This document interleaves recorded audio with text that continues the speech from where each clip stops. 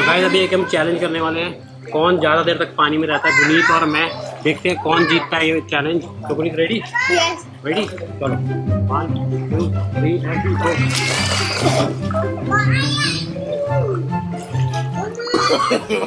no, no, no, no.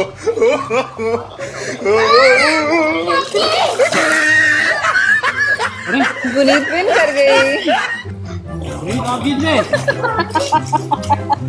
कैसे दीदी है वो पता नहीं। जीत गई।